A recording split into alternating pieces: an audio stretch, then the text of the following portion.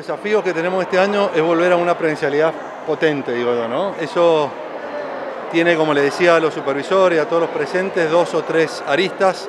Una es un buen calendario, una buena jornada extendida, pero también la necesidad de la vacunación masiva de docentes, que están muy bien, eh, más del 90%, y de, los chicos, tienen que estar vacunados.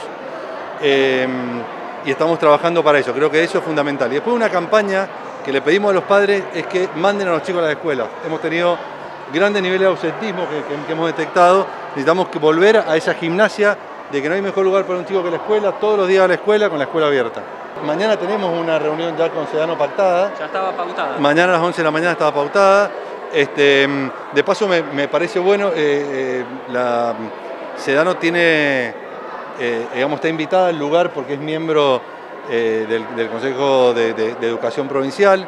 Con lo cual es importante que estén escuchando las políticas que vamos a llevar adelante. Yo siempre digo que, en buenos términos el diálogo hay que hacerlo y, creo que si arrancamos en buenos términos está bien.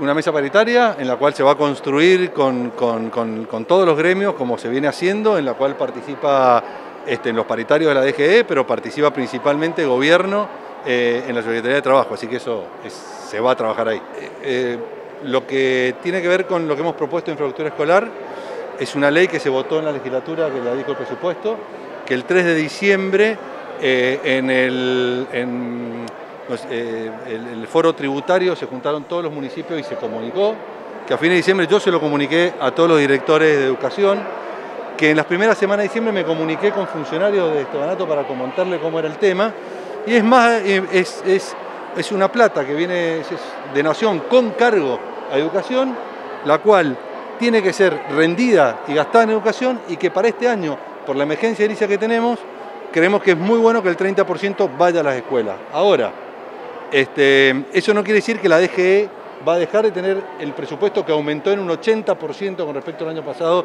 para infraestructura, que el responsable de la infraestructura es la DGE y la que lleva adelante esto es la DGE. No estamos coparticipando responsabilidad como ponen por ahí, no le estamos tirando un fardo a los intendentes, todo lo contrario, le estamos pidiendo que nos ayuden con plata que desde el 2006 por financiamiento educativo es de educación que llega a la provincia y que la provincia la coparticipa a los municipios.